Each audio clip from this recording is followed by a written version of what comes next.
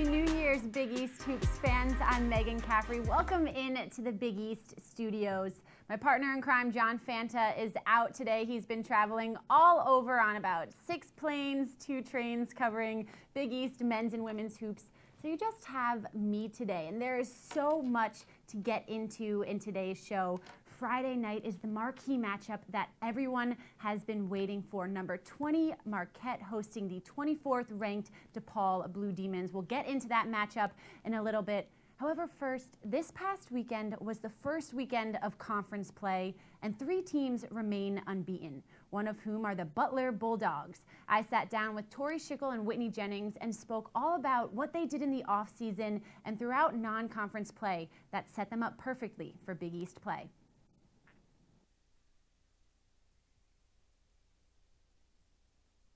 Welcome into the Big East studios, the Butler Bulldogs guard Whitney Jennings and center Tori Schickel. Thank you two so much for joining me and Happy New Year. Absolutely. Happy New Year. With wins over Villanova and Georgetown this weekend, your team is off to your first ever 2 0 start in conference play. How does this undefeated start show the growth of this Butler squad? Yeah, I mean, I think we had a great non-conference, so we're excited to you know start Big East play two and zero. Oh. Um, but you know I think it just goes back to uh, you know the standards we set you know following the end of last season and in the summer and the fall and how hard we've been working. So we're excited to see all of that you know paying off and just hoping to continue that um, as the year goes along. What were those standards that you set? You know I think coming in every day and just working as hard as you could. I think you know, starting conditioning last spring, um, we knew we wanted to be the most conditioned team out there every single day. Um, you know, we, we, really wanted to work on some of our weaknesses um, individually, and then coming together and you know switch up kind of some of the things that we were doing defensively making that a focus for us um, coming into our games, and then uh, offensively just doing what we do every day. Those two games were road games that you won this weekend. So, how does a road sweep in the Big East set the precedent for what's to come of this team in conference play?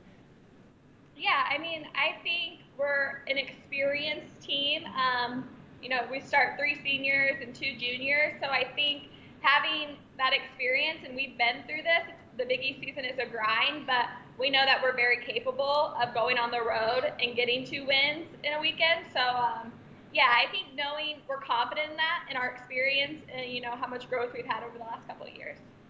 With all of that experience, there's a lot of chemistry on your team too. How would you describe the chemistry amongst yourselves? I think right now, you know, it's just really fun. We're all trying to keep it really light. We're really close with each other. The locker room's a lot of fun right now. You know, obviously winning helps that a lot, but it's just a fun environment to be around. And I think, you know, it's one of the first times that everyone on our team has clicked really well. Um, so we're just excited in the direction that we're going and to have fun with each other every single day. Who on the team keeps it the lightest? Oh, I'd say probably Kat Strong. She's pretty much clowns around a lot, but she knows when to take it seriously too. But she's yeah, fun to have, have around. We actually have quite a few characters. Oh, absolutely. so it's a fun, it's a fun atmosphere, and um, I think you know one thing that's really helped our success is we're just really invested in each other, and you know. Um, I don't know. I just think when everyone cares about everyone and you're so happy to see Tori score 20 or Michelle score 20 or whatever, um, you know, as long as we get the win at the end of the night, we're all, it's a happy locker room for sure. Coach Godlevske talked a lot about your defense after these past two wins specifically, saying you guys really dug in. How would you describe the defensive effort that you've been putting into? Yeah, I think that's really kind of what we focused on the whole offseason. Um, we knew that was where we were going to have to dig in. You know, a lot of times we can score on people, but it's if we can get stops, and that's really kind of what sets our pace for our offense. Um, so, you know, being able to dig in and get stops is really important for us. Um, and then, you know, basing it off of what we do instead of what other teams are doing offensively, um, and really just sticking to our principles is really important for us moving forward. What do you do offensively? Well, offensively, I think right now we're getting a lot of inside out touches, which is really nice. Um, you know, they're doubling Will in post, which makes um, gives a lot of our other guards open shots, which is they've been knocking down really well. Um, and just getting a, a, lot of that ball movement and taking care of it and playing it, playing at our pace is really important for us right now. Being able to play inside out is really what we want to do, and, and just taking care of the ball and making smart decisions. And um, yeah, we're really confident in that right now. And you, you're home for your next two games this weekend against Seton Hall and St. John's. What are you looking forward to to staying home this weekend?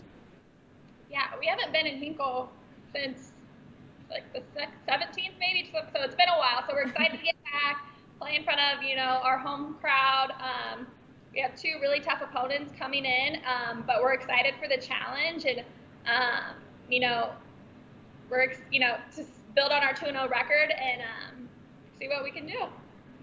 It's the new year, 2019. What are some maybe resolutions that you two have? Oh, I think I, I was asked that the other day actually. Um, for me, I would say maybe try to spend like less time on social media and try to save money too. That's yeah. always a big one. Speaking my language, yeah. Definitely. I don't know. And I think for me, like, I don't know, just always having that positive attitude in schoolwork and like, you know, making those relationships, new friendships. I don't know, just kind of continuing from 2018, making it better in 2019. Play for Big East Championship, maybe in there. Absolutely, that's of course. Yes, absolutely. NCAA tournament, NCAA Big East Championship. Those are definitely some goals on our horizon. And now it's all about checking them off the list. Tori, Whitney, thank you so much for joining me. Thank, thank you. you. Thanks for having us.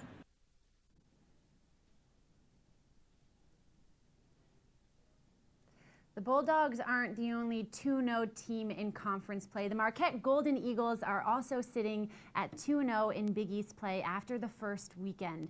And they face the DePaul Blue Demons at home this Friday. It's the marquee matchup that everyone has been waiting for, the showdown between the preseason co-favorites, the rematch between the 2017 and 2018 Big East championship game two high-powered offenses who really love to put up a ton of points on the scoreboard, and it's a thriller that everyone is surely looking forward to. Let's take a quick look at this matchup right here. Pretty evenly matched. The two high-powered offenses you can see right there. Blue Demons averaging 86.5 points per game, and then Marquette averaging 84 points per game. Since 2013, guys, get this, the games have finished with scores of over, three games have finished with scores over 100 points, and 13 meetings have seen 90 plus finishes. So we know what is in store for us coming up on Friday night. The DePaul Blue Demons, they're 10 and 4 on the season. They really challenged themselves in the non-conference, playing both UConn and Notre Dame. And after falling to Creighton in their first Big East game, they bounced back with a big win over Providence. Three Blue Demons are averaging 12 or more points per game with Ashton Millender leading the pack. She has 13, she's averaging 13.8 points per game. She's ranked 19 in the nation in three-pointers, and she's going to be the biggest threat beyond the arc to the Golden Eagles. Now let's take a quick look at Marquette. Allazia Blockton, she leads Marquette in scoring, averaging 16.5 points per game. She did miss the Golden Eagles' last game against Creighton. She left Marquette's first game against Providence early with an ankle injury and is day to day. It's going to be really exciting to see if she'll be back on the floor for them. However, without her, it's next man up mentality for the Golden Eagles. Selena Lott stepped up when her name was called in the Creighton game. Head coach Carolyn Kieger had high praises for her, saying Lott stepped up in a huge way, and Coach Kieger wasn't surprised at all by her success. And so, although Blockton is the key cog to this offense, the Golden Eagles have four more 1,000 point scorers, and then they know that they can go to their bench where they have plenty of depth there. So it's going to be really exciting. I know I'm going to be tuning in. Got my popcorn ready for me on Friday night. You don't want to miss that Big East matchup. There is one team who has faced both of the preseason favorites already. That is Creighton. They opened up their season against number 19 then ranked DePaul. They beat DePaul then, and then two days later, they did fall to Marquette. But there are so many learning opportunities from experiencing these two tough teams in opening weekend of conference play. Against DePaul, Brooke Kissinger and Audrey Faber, they combined for 39 points, and this was kind of a coming out game for Kissinger. She had a career high 20 points, going 7 of 8 from the field, and she was just unstoppable. She came into the game, get this, with six threes through her first 35 games. Yeah, and she finished with six from beyond the arc in that win. And although Audrey Faber does lead the team, averaging 17.1 points per game, she leads the Big East in scoring with that as well. Kissinger was able to come out and show her value as well in that game.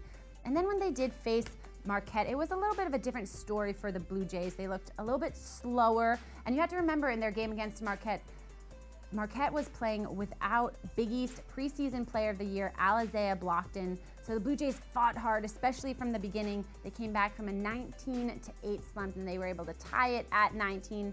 However, the Golden Eagles, they did run away with it in the end with all five starters, finishing in double figures. So if you're Creighton, what do you have to do? You have to look at these first two games and you have to take the great learning experiences from them and see what worked, what didn't work, what can you build on now. The Blue Jays are home. They face Villanova up next, so they get to resettle a little bit and see what they can build on after that really tough opening weekend.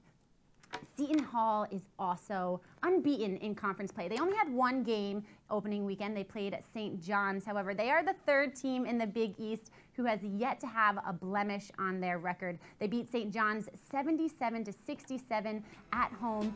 And the story of this Seton Hall team this year is this new high-powered offense that they have put into place, and it's showing.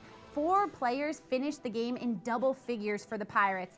Inja Butina led the way with 19 points. And she was injured earlier in the season, her first three games back from injury. Butina has averaging 17.7 points per game. I was on that game with John Fanta and Kim Adams, and we had the opportunity to spoke to speak with head coach Anthony Bozzella before the game, and he was just talking about the significance of getting the ball to Inja Butina out with out at 47 feet out and letting her then take it from there. He didn't want her running up and down the entire court because he said she'd get exhausted, and it shows when you're able to do that. Butina finishing with 19 points right there. And then you can see Nicole Jimenez, 16 points. She's also a threat from three, especially. She leads the Big East in three-pointers, averaging 3.3 three-pointers per game.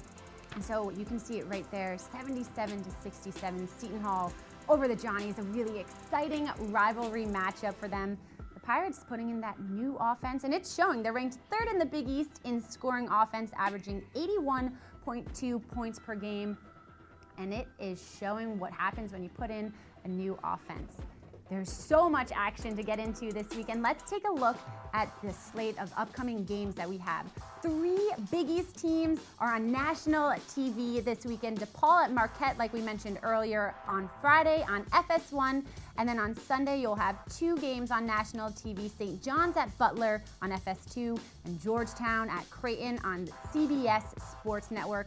I am, however, I have my eyes on this Seton Hall Butler game on Friday night. They're both unbeaten, like we said. Butler with two wins on the season and Seton Hall with only one win on the conference season. So one of these teams is going to walk away with a blemish. So who's it going to be? We don't know. It's going to be so exciting to see how all this plays out. You can watch all the games that aren't on national TV on the Big East Digital Network on your Fox Sports Go app get your phone out, put it up there, maybe then have the national TV games on your TV, right? You can get a little bit of the best of both worlds. That's what I'm going to be doing. Thank you so much for joining me.